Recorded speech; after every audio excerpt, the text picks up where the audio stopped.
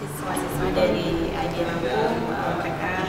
uh, kerjanya bagus kemudian uh, juga baik kemudian semoga ini berjodoh untuk beberapa siswa yang